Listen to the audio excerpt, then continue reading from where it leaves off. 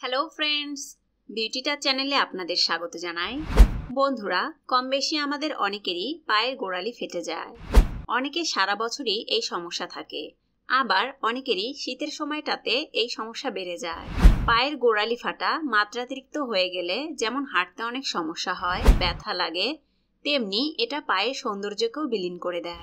কিন্তু আমরা যদি আমাদের পায়ের গোড়ালি পরিষ্কার রাখি এবং একটু যত্ন নেই তাহলে এই সমস্যাতে আমাদের আর কখনোই পড়তে হবে না। তাই আজকের ভিডিওতে আমি আপনাদের জন্য একটি হোম রেমেডি নিয়ে এসেছি, যা ব্যবহারে আপনার পায়ের গোড়ালি তো পরিষ্কার হবে, সেই সাথে পা এবং পায়ের গোড়ালি ফাটা দূর হয়ে যাবে। তাহলে দেরি না করে চলুন দেখে নেওয়া যাক, কীভাবে এই রেমেডিটি তৈরি করে নিতে হবে।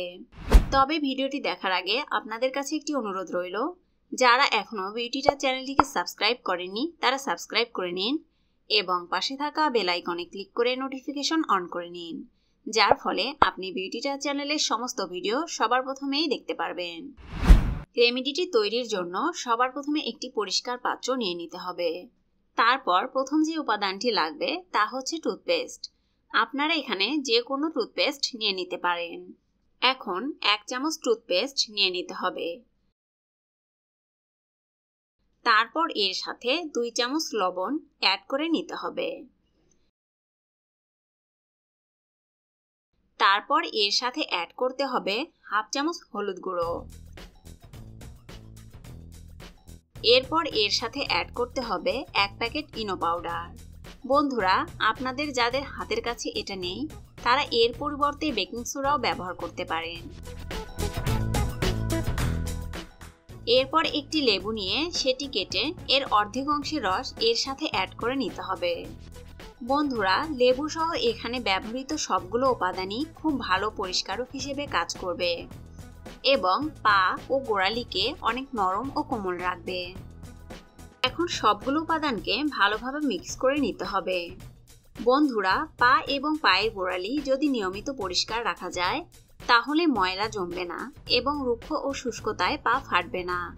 মূলত অনেক ময়লা জমার ফলে আর রুক্ষ শুষ্কতার ফলে পা ফেটে থাকে। এভাবে মিক্স করার পর দেখুন গোড়ালি সহ পুরো পায়ে অ্যাপ্লাই করার জন্য মিশ্রণটি তৈরি।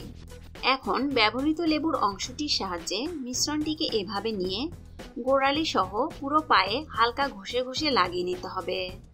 বন্ধুরা, এটা আপনার পায়ের সমস্ত ময়লা ও মরা চামড়া পরিষ্কার করে পায়ের গোড়ালিকে উজ্জ্বল, নরম এবং কোমল রাখতে সাহায্য করবে।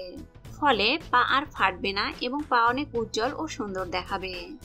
এভাবে লেবুর সাহায্যে মিশ্রণটি স্ক্রাব করে লাগিয়ে নেওয়ার পর পাঁচ মিনিট অপেক্ষা করতে হবে এবং পাঁচ মিনিট পর একটি পা ঘষার যে কোনো উপকরণ নিয়ে আরও পাঁচ মিনিট পরিষ্কার করে নিতে হবে। সব থেকে ভালো হবে হালকা গরম পানি সহ এই কাজটি করলে। এভাবে ঘষার পর হালকা কুসুম গরম পানি দিয়ে অথবা ঠান্ডা পানি দিয়ে পা ধুয়ে ফেলতে হবে। এরপর গ্লিসারিন লাগিয়ে নিতে হবে সারা পায়ে। এভাবে তিন দিন করলে দেখবেন আপনার পা ফাটা দূর হয়ে গেছে। ধন্যবাদ আমাদের এই ভিডিওটি দেখার জন্য। ভিডিওটি ভালো লেগে থাকলে লাইক, শেয়ার এবং কমেন্টস করবেন এবং আরও ভালো ভালো ভিডিও পেতে বিউটিটা চ্যানেলটিকে সাবস্ক্রাইব করবেন।